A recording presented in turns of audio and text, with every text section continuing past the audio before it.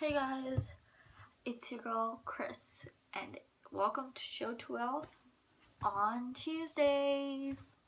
As you can tell, I'm giving no effort on what I'm wearing. Pajamas, total lazy day today.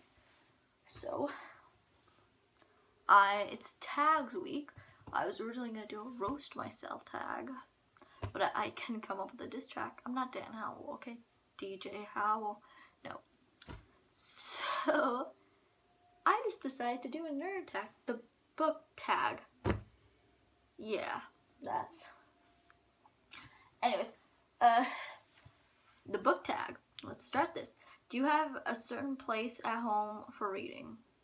My bed, or maybe like my couch or like the dinner table. Bookmark or in a piece of paper, both.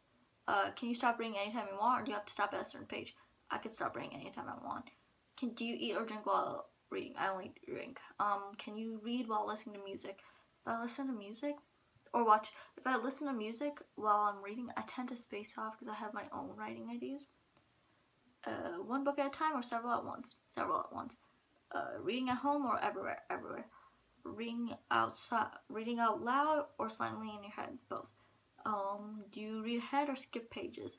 I'm guilty of reading ahead breaking the spine or keeping it new? Keeping it new. I love new books. Do you write in books? Like on the front cover, I write my name and like, yeah. Like if I take a book to school, I'm always writing my locker number on it so that just in case. Also my band locker number. That's pretty much it. Uh, sorry for the short video. It's just I can't find one that I would actually like to do.